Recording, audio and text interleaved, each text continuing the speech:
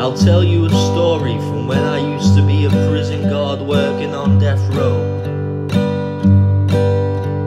A man was found guilty of a crime for which he was totally innocent, you know. I'll never forget that man's name,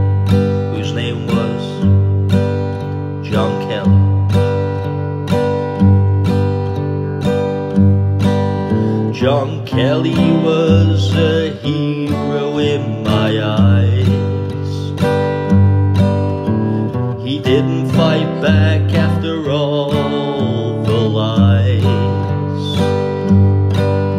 He was a man of God, and he knew that he'd been robbed of his life, and now, now he was to be with God for all eternity.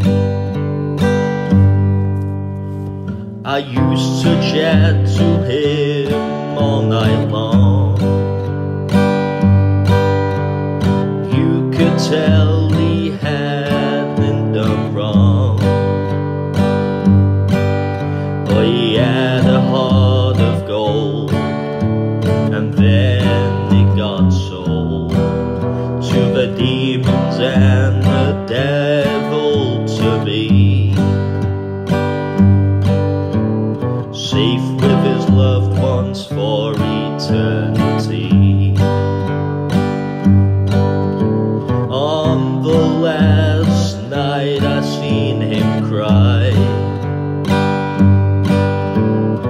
wondering and asking why.